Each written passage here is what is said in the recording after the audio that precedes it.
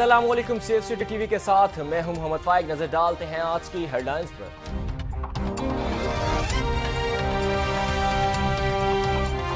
آئی G Punjab Shoaib Dastgir سے British embassy کے دو رکنی وفد کی سینٹرل پولیس آفس میں ملاقات۔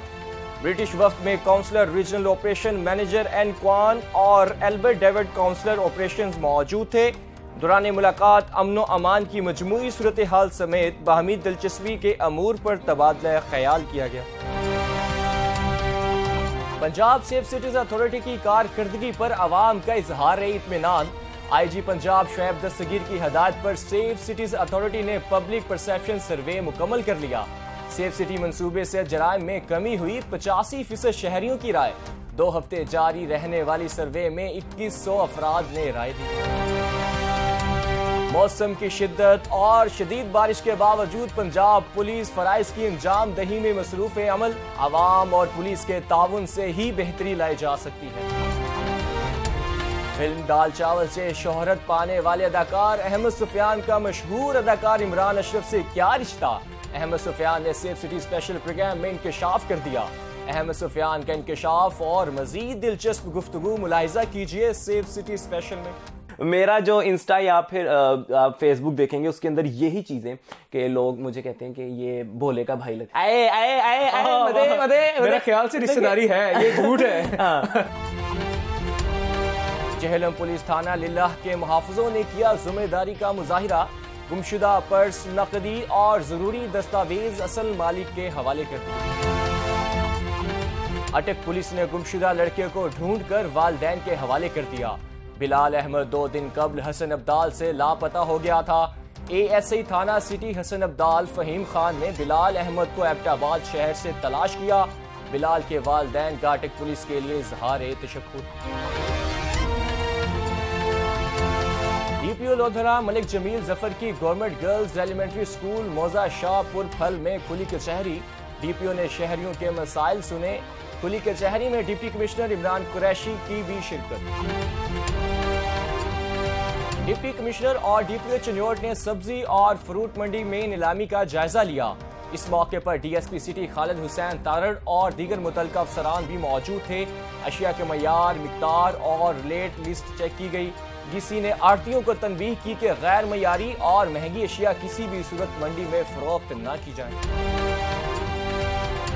چنیوٹ میں ناجائز اسلحہ اور منشیات برامد ہونے پر چار ملزمان گرفتار۔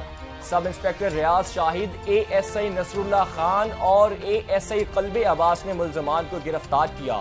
ملزمان کے قبضے سے دو ہزار چھ سو نوے غرام چرس تیس لیٹر شراب اور بندوق برامد مقدمہ درج۔ ضلع بکر میں منشیات فروشوں کے خلاف مہم۔ ایس ایچ او سٹی دریا خان شفی اللہ خان نے دو منشیات فروش خواتین رنگے ہاتھوں پکڑ لی ملزم خواتین کے خلاف زیر دفعہ سی نائن مقدمات درج کر کے مزید تفتیش عمل میں لائی جا رہی ہے۔ پولیس لائن اٹک میں ڈی پی او سید خالد ہمدانی کے لیے تعارفی کانفرنس کا انعقاد کیا گیا۔ کانفرنس میں D S P headquarter, S D P Os, S H Os, elite force, traffic police اور ضلع پولیس کی شرکت۔ ڈی پی او اٹک نے زور دیا کہ عوام کے ساتھ اچھا برتاؤ کریں اور حسن سلوک سے پیش آئیں۔ ضلع خوشاب میں ایس ایچ او تھانہ سگرال کی زیر نگرانی منشیات فروشوں کے خلاف کامیاب کاروائی ملزمان سے چار ہزار تین سو ساٹھ گرام چرس برامد الگ الگ مقدمات درج۔ پولیس تھانہ صدر اوکاڑا کی منشیات فروشوں کے خلاف کریک ڈاؤن۔ ملزمان سے بھاری مقدار میں ولایتی شراب برامد مقدمہ درج کر کے مزید کاروائی عمل میں لائی جا رہی ہے۔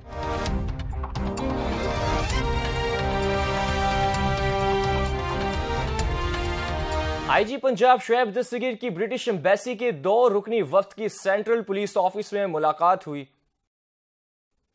برٹش وفد میں councillor regional operation manager Ann Kwan اور ایلبرٹ ڈیوڈ کونسلر آپریشنز موجود تھے۔ دوران ملاقات امن و امان کی مجموعی صورتحال سمیت باہمی دلچسپی کے امور پر تبادلہ خیال کیا گیا۔ اس موقع پر آئی جی پنجاب کا کہنا تھا کہ اسپیشل پروٹیکشن یونٹ غیر ملکی شہریوں، ماہرین اور سرمایہ کاروں کے تحفظ کے فرائض سر انجام دے رہی ہے۔ پنجاب پولیس کی بر وقت کاروائیوں کی بدولت صوبے میں دہشت گردی کے واقعات میں نمایاں کمی آئی ہے۔ کاؤنٹر ٹیررزم فورس دہشت گردوں کے خاتمے کے لیے انٹیلیجنس بیسڈ آپریشن میں مصروف ہے۔ عوام کی سہولت کے لیے پبلک سروس ڈیلیوری پروجیکٹس کو جنرل پولیسنگ سے الگ کر دیا گیا ہے۔ برٹش وفد نے دہشت گرد اور سماج دشمن عناصر کے خلاف پنجاب پولیس کی بروقت کاروائیوں کو قابل ستائش قرار دیا۔ Councillor regional operation manager Ann Kwan نے کہا کہ پبلک سروس ڈیلیوری کی فراہمی کے لیے پنجاب پولیس کے شروع کردہ پروجیکٹس جدید پولیسنگ کے این مطابق ہیں۔ پنجاب پولیس کے ساتھ انفارمیشن شیئرنگ اور پیشہ ورانہ تعاون کو مزید بڑھایا جائے گا۔ ملاقات کے آخر میں آئی جی پنجاب اور councillor regional operation managers and Kwan کے درمیان اعزازی سوینئرز کا تبادلہ کیا گیا۔ پنجاب سیف سٹیز اتھارٹی کی کارکردگی پر عوام نے اطمینان کا اظہار کیا ہے۔ آئی جی پنجاب کی ہدایت پر پنجاب سیف سٹیز اتھارٹی نے پبلک پرسپشن سروے مکمل کر لیا ہے۔ سروے کے نتائج کے مطابق شہریوں کی واضح اکثریت نے سیف سٹیز اتھارٹی کی کارکردگی پر اطمینان کا اظہار کیا اور منصوبے کو سراہا ہے۔ ترجمان سیف سٹیز اتھارٹی کے مطابق سیف سٹیز اتھارٹی کا public perception survey Lahore university of management sciences کے پروفیسر حسن اور اتھارٹی کے ریسرچ اینڈ انوویشن ٹیم کے اشتراک سے مکمل ہوا۔ دو ہفتے جاری رہنے والے سروے میں شہر بھر کے مختلف مقامات سے اکیس افراد کی رائے لی گئی۔ نتائج کے مطابق پچاسی فیصد شہریوں نے کہا کہ سیف سٹی منصوبے کی بدولت شہر میں جرائم کے واقعات میں کمی آئی ہے۔ اکانوے فیصد شہریوں نے ای چلان منصوبے پر اطمینان کا اظہار کیا اور کہا کہ سیف سٹی منصوبے کی بدولت ٹریفک مینجمنٹ بہتر ہوئی ہے۔ شہریوں نے کہا ہے کہ سیف سٹی منصوبے کے بعد شہر کی شاہراہوں پر سفری وقت اور توانائی کی مد میں چالیس فیصد بچت ہوئی ہے۔ اسی طرح شاہراہوں پر وقت اور فیول کی مد میں اڑتیس ارب روپے کی سالانہ بچت ہوئی، جو کہ منصوبے کی کل لاگت سے دو گنا ہے۔ یہ تھی اب تک کی خبریں۔ مزید اپڈیٹس اور خبروں کے لیے وزٹ کیجیے ہماری ویب سائٹ www.psca.tv